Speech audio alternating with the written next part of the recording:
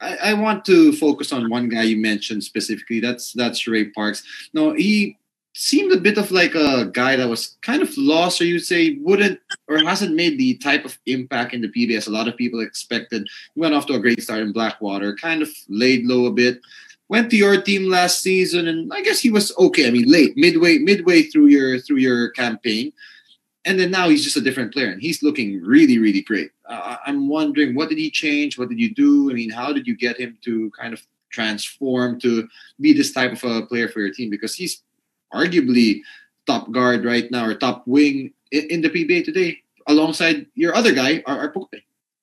Well, look, we're very, very lucky to have Ray. Um, there's absolutely no uh, reservations I had when we made the trade, even though, you know, to me, we gave up a lot on our team. I loved Don Trollano. I really liked Tony Semerad. You know, they were hard pieces for us to give up to get Ray and uh, it kind of rattled our team a little bit. We were seven and zero oh when we made the trade. We really had to make that trade in order, I thought, to build something that would be unique here. Um, you know, I, am a big fan of analytics. Um, I constantly watch EuroLeague. Uh, I don't focus on the NBA as much.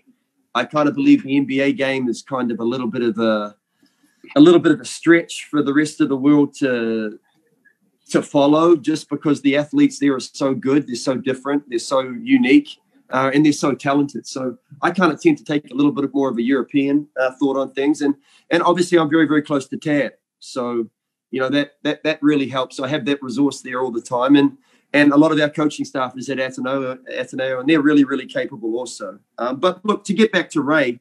Um, look, man, I just thought he was great. Like the first time I saw him, we played against him. He was at a, he was at Alab.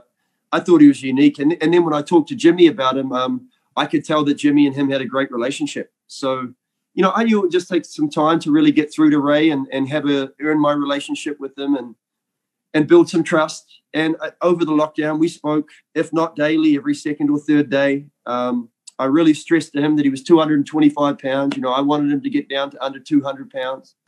Uh, right now, he's right at a 201 pounds. I think that's about right for him. You know, he's 6'4", he's 9% body fat. He's right where he probably wants to be. And he's an athlete. And, you know, the, the questions I had about Ray were absolutely nothing to do with his game. It was would he buy in and would he actually lose the weight? Because I knew if he did, you know, the sky's the limit, man. I mean, he can play anywhere in the world. And I really believe that because he's unique in how well he passes the ball. I think that's actually his best skill is that he's a willing passer. And if you look at how we play it, you know, a lot of the, the, the hockey assists come from him. Um, you know, he distorts the defense just as much as Jason Castro does. So we kind of have two guys now that can do that. So when Jason's out of the game, I can play through him. So, you know, it, it's a real, real unique novelty to have. Um, and the fact he's so coachable, he's just the total opposite of what people think. He's a great kid. He wants to learn. He's got no ego. And kind of over here in the Philippines, I've noticed that, you know, the really talented kids are the ones that get hit the hardest, right? So, so you know, I had a real affinity straight away to him. You know, I, I noticed his talent and I noticed his ability, and I just wanted to help him, you know, generate that. You know, uh, you know, keeping in mind that he's got a huge view of playing in 2023 for Gilas. He really wants to show himself for that. And, you know, and, and I think he can be a great player for Gilas. You know, he has a true position internationally. He's a two guard. So, you know, he's got the size to play that position. So, you know, I think he can go down as one of the great, great players in the Philippines to ever play here. I think he's really that good. So, you know, it's just the start. You know, obviously he's got to stay healthy and continue to do the work.